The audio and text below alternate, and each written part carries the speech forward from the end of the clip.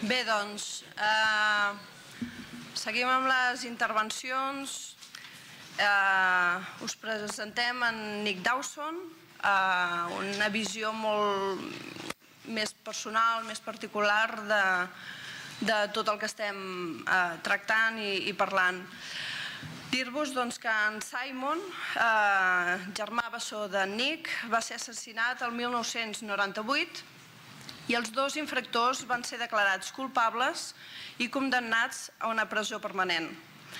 Transcorreguts 15 anys, en Nick va entrar en contacte amb un dels infractors a través d'una reunió de justícia restaurativa. Van mantenir una reunió molt intensa, d'unes 4 hores, dins de la presó.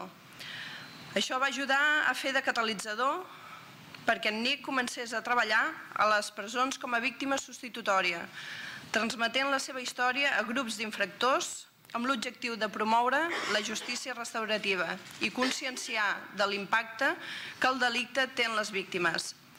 Donem doncs la benvinguda en, en Nick, eh, gràcies per la seva participació i podrem veure doncs, una visió molt més particular i, i més vivencial doncs, eh, de tot el que estem tractant sobre la justícia restaurativa, les víctimes eh, substitutòries des del seu punt de vista. Moltes gràcies. Thank you. Moltíssimes gràcies a vostè i molt bon dia a tothom. Estic molt content de poder venir a parlar davant de vostès. Moltíssimes gràcies per haver-me convidat. La fotografia que veiem aquí darrere és una fotografia del meu germà, del meu germà i de jo. El meu germà, en Simon, és el que està aquí davant i jo estic a darrere, a darrere del meu germà. El meu, en Simon i jo érem bessons i la història de què m'agradaria parlar aquest matí es centra en la pèrdua del meu bessó, en Simon, que va ser assassinat l'any 1988. I m'agradaria poder guiar-vos a través d'un camí força personal, com a víctima de la delinqüència i com jo vaig doncs, passar per aquest procés de justícia restaurativa i com, en última instància, doncs, he estat treballant en les presons, amb delinqüents, al Regne Unit i he actuat com a víctima substitutòria en el marc d'aquests processos de justícia restaurativa. La meva presentació es divideix en quatre segments. És un viatge, jo diria, és un viatge molt personal, el que un viu quan la família és víctima d'un assassinat. Evidentment, hi ha un munt de coses que repercuteixen en una qüestió d'aquesta naturalesa. Aquesta història, doncs, aquest viatge va començar quan va tenir lloc aquest assassinat, l'any 1988. Han sigut ja, han passat ja 20 anys des de que el meu germà va ser assassinat. El 1988, de fet, va ser un any de molts reptes per mi. Jo em vaig casar en aquell any, el meu germà, el Simon i jo vam celebrar el nostre 30è aniversari, érem bessons, per tant teníem la mateixa edat. El meu pare, de fet, va fer 60 anys, també aquell any, però desgraciadament l'any 1988 també va ser un any molt i molt tràgic, tant per mi com per la meva família, perquè doncs, el meu germà va ser assassinat l'any 1988. En Simon va tenir molt mala sort. Pel que fa a la seva mort, perquè resulta que va anar a petar.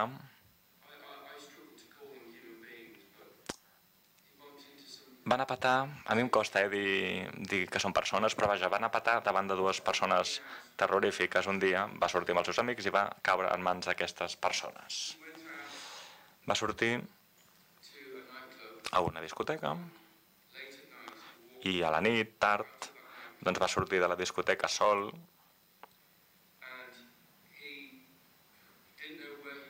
I de fet no sabia ni cap on anava. I per mala sort va escollir la companyia equivocada.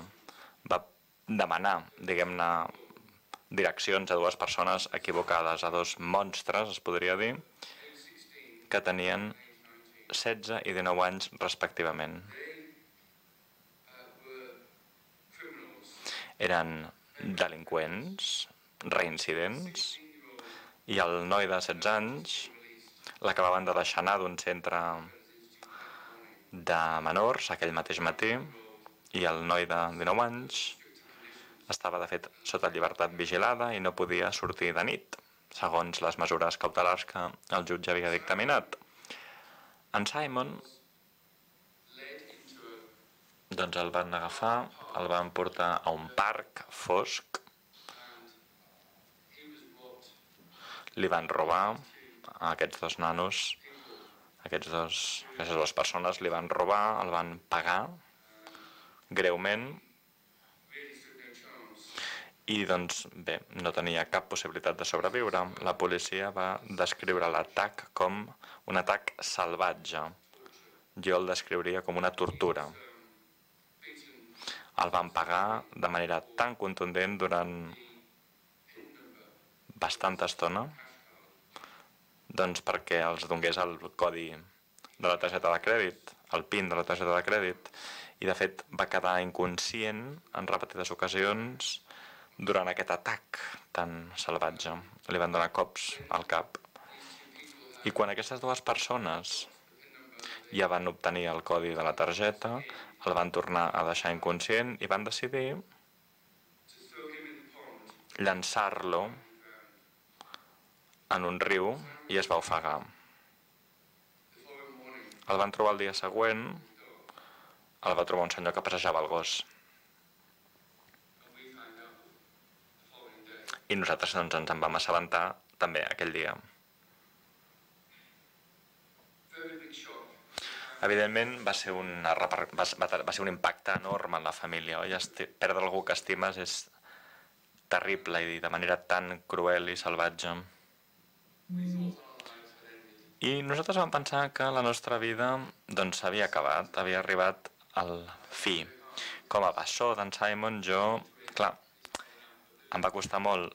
Perdre un bessó és molt dur, però perdre un bessó, a més a més, assassinat, és encara més dur, jo diria. La policia, la resposta de la policia va ser molt eficaç i, de fet, excel·lent, eh? Nosaltres sempre hem mostrat el nostre agraïment i la nostra, sí, el nostre agraïment envers la policia. Aquestes dues persones van ser detingudes i un any més tard doncs hi va haver el judici per assassinat.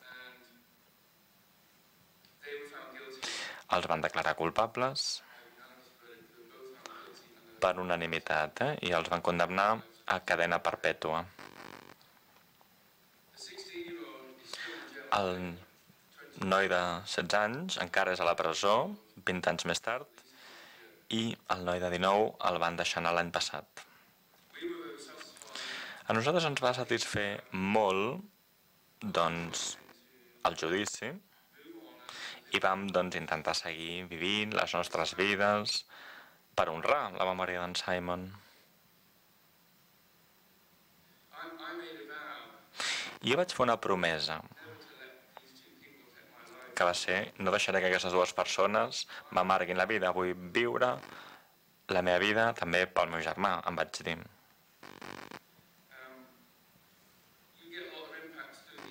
Evidentment, amb els anys van passar moltes coses com a resultat d'un assassinat, i m'imagino que de qualsevol delicte. Eh? Jo tinc molta sort perquè el meu matrimoni va sobreviure. Estic feliçment casat avui en dia i tinc dos fills molt macos. I els vaig parlar per primera vegada d'aquest assassinat aquest any. Fins aquest any no ho havia fet.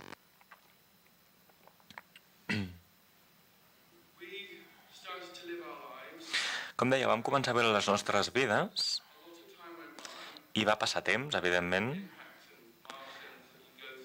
i vam haver de passar per molts moments complicats com a família.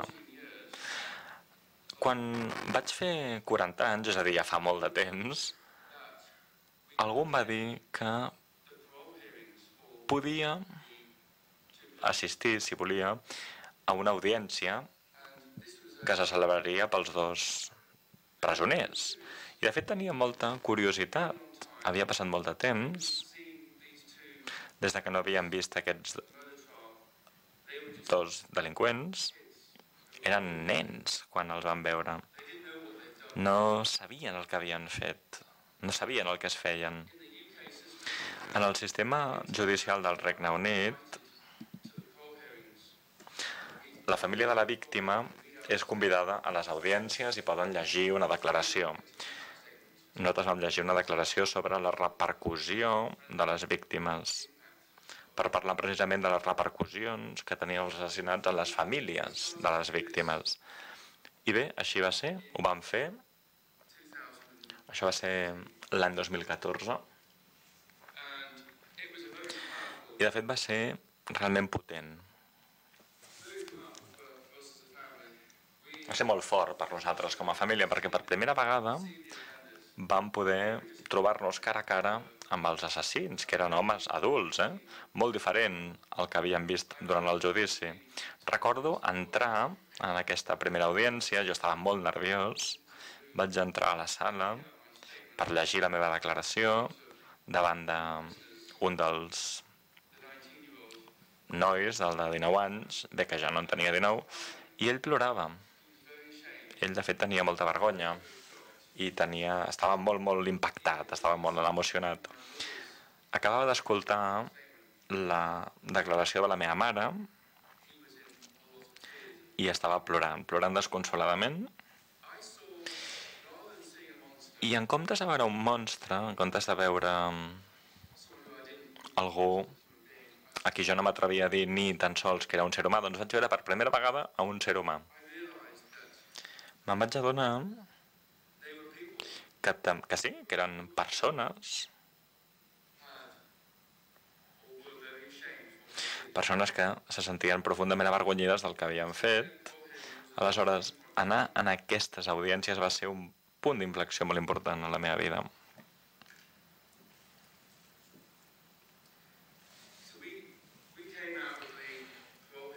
La família vam sortir de l'audiència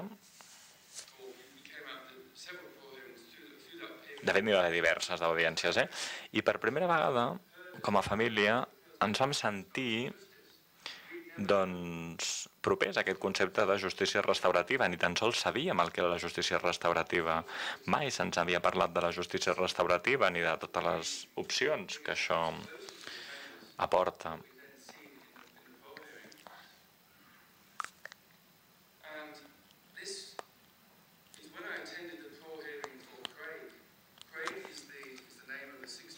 Craig, el noi de 16 anys que va assassinar el meu germà, es deia Craig i l'altre es deia Carl, el de 19 anys, el que aleshores tenia 10 anys es deia Carl. Doncs aleshores jo vaig començar a referir-me a ells com a Craig i a Carl. Els veia com persones que tenien els seus noms, persones que volien també seguir endavant amb la seva vida i volien demanar perdó. Així doncs que el Craig i jo doncs vam fins i tot desenvolupar un cert vincle. Eh? En Craig també havia sentit a parlar sobre justícia restaurativa a la presó en la que ell està i tots dos doncs, vam connectar molt, eh? molt a través de, evidentment, els mediadors, els felicitadors, i vam quedar, vam quedar. Evidentment, el procés de preparació d'aquesta trobada va ser d'un any, aquesta trobada va ser a la presó on ell era, a la presó, una presó que s'anomena Chapel. Doncs ens vam preparar molt per aquesta trobada, vam preparar els objectius d'aquesta trobada, les preguntes que ens volíem fer l'un a l'altre, i jo vaig ser l'únic de la família que de fet volia anar eh, a aquesta trobada. Els meus pares i el meu germà més gran no van voler. La justícia restaurativa va ser per mi un punt d'inflexió molt, molt important vaig tenir aquesta trobada de 4 hores amb en Craig, l'assassí del meu germà,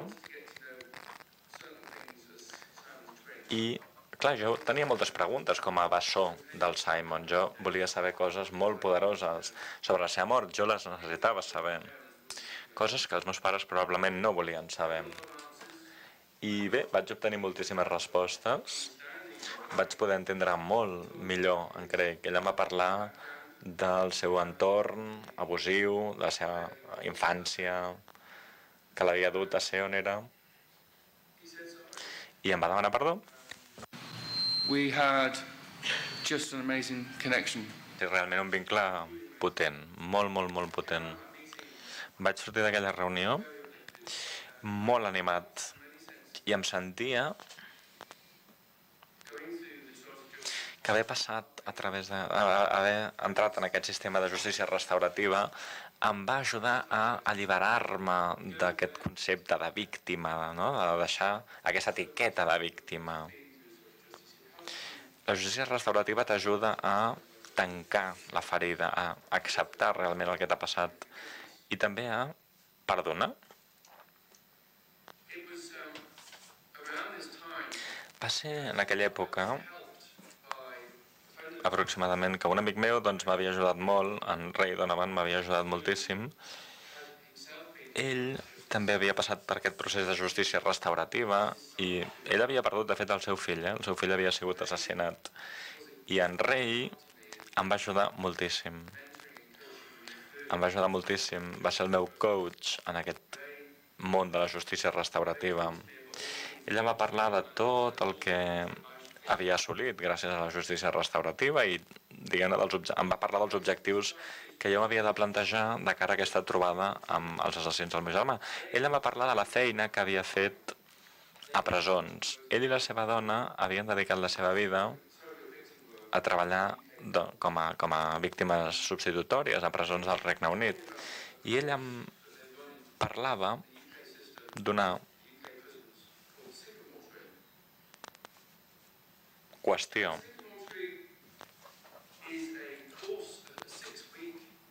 Un curs, em va parlar d'un curs, un curs que dura sis setmanes, totes les tardes, o no, una setmana, una tarda per setmana, de fet, durant sis setmanes, i en aquest curs...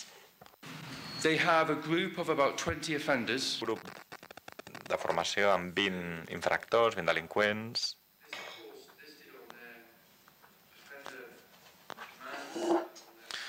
que han d'anar, diguem-ne, aquest curs per sentència judicial, eh, per l'ordre judicial.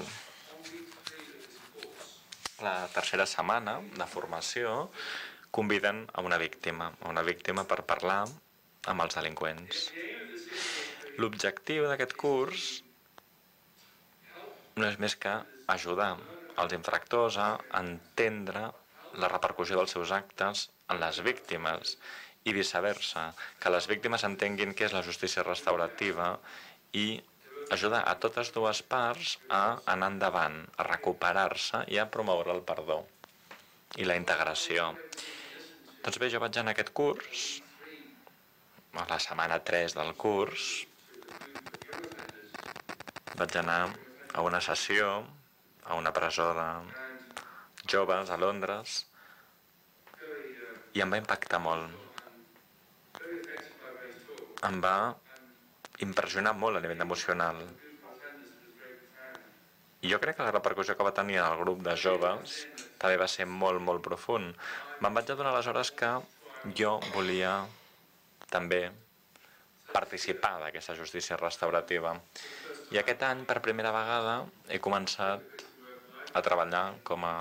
Bueno, a, a participar com a víctima substitutòria en diverses presons al Regne Unit. Em sembla que, si no m'equivoco, ja he fet unes 50 hores de feina com a, justícia, com a víctima substitutiva i, de fet, demà me'n vaig a un curs, a, la, a una altra d'aquestes sessions de la tercera setmana del curs. Realment és que ara m'apassiona aquest sector i vull seguir implicant-m'hi. He estat ja en nou presons. Els delinqüents juvenils també he treballat amb homes i dones adults.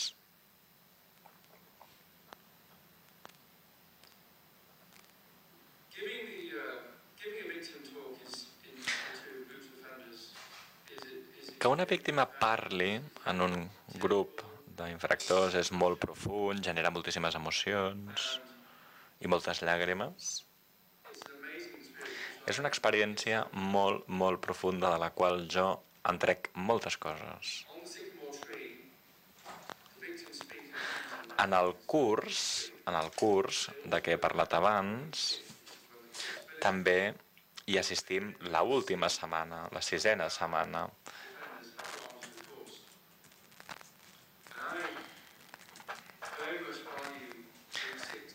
A mi m'agrada molt aquestes trobades en la setmana 6 que ens permeten doncs, entendre com els infractors han evolucionat a nivell personal gràcies a aquest curs. I ara m'agradaria posar algunes cites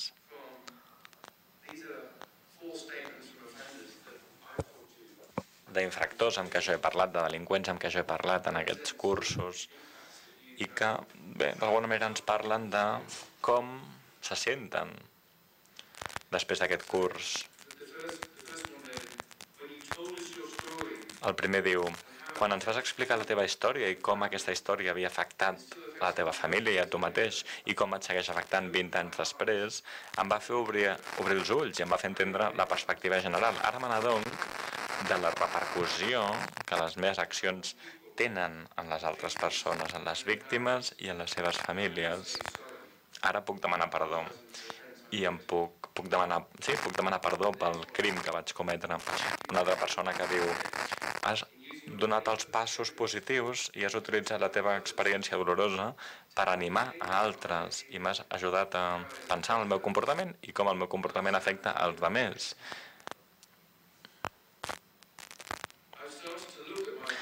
Un altre que diu, ara veig el meu delicte des de diferents òptiques i crec que sóc una millor persona.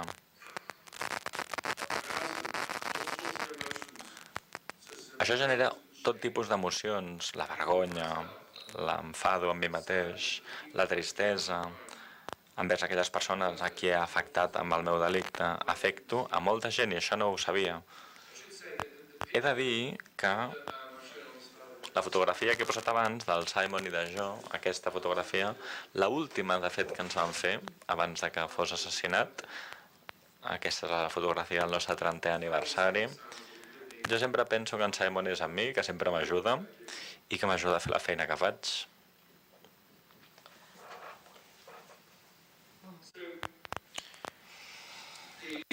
The feedback, as you've seen, shows that the que ens diuen aquests infractors, aquests delinqüents, és que la feina que fem com a víctimes en el marc de les pressions és una feina profunda, amb una repercussió realment també profunda en els infractors, en els presoners.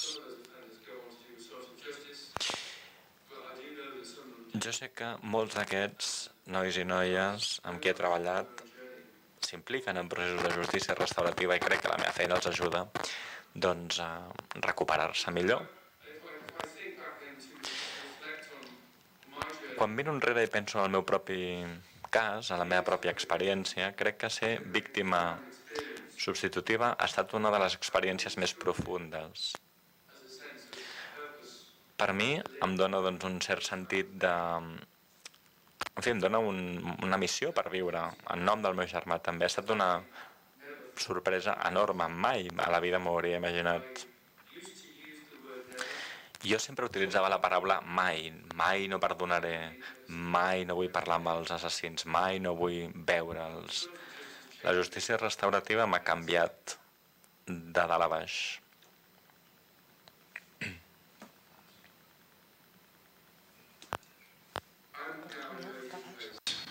and whilst I am not able to yet say to Craig Encara no li puc dir al Craig, et perdono, encara no li he pogut dir, estic a prop de poder-ho fer. Potser algun dia, potser algun dia li diré, et perdono.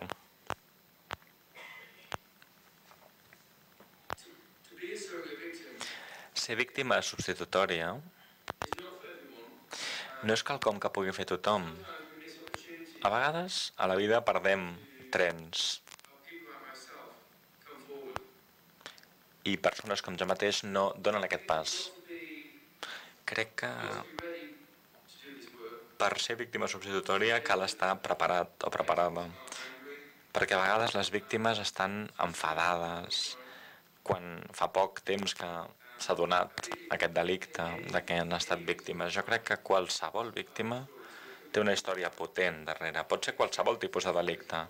Evidentment, els delictes sexuals són molt difícils. Ha de ser molt i molt difícil. Però jo crec que totes les històries de delinqüència són poderoses.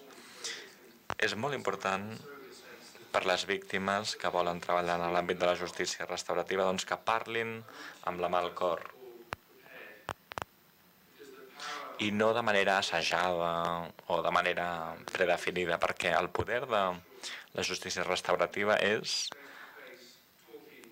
aquesta trobada cara a cara natural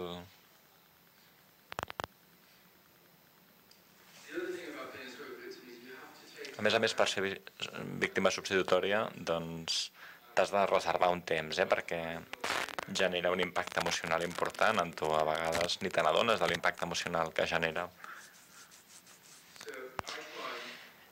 Jo intento no sobrecomprometre'm. Evidentment vull ajudar, vull ajudar, però no vull agotar-me en el procés.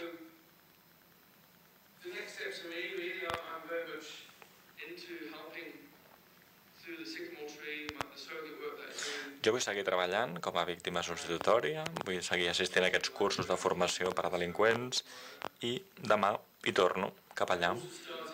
D'altra banda, també he començat a donar suport a altres víctimes substitutòries. Hi ha una persona que em va contactar i que vol començar a fer de víctima substitutòria i l'estic assessorant a la mesura del possible i també vull a, doncs, ajudar altres persones que vulguin entrar al sistema de justícia restaurativa. Per últim, crec que és molt important compartir les lliçons apreses. Jo crec que sessions com la d'avui són molt importants per tal de poder aprendre uns altres. Moltes gràcies per haver-me escoltat. Ha estat un plaer compartir la meva experiència, el meu viatge. I de nou, gràcies.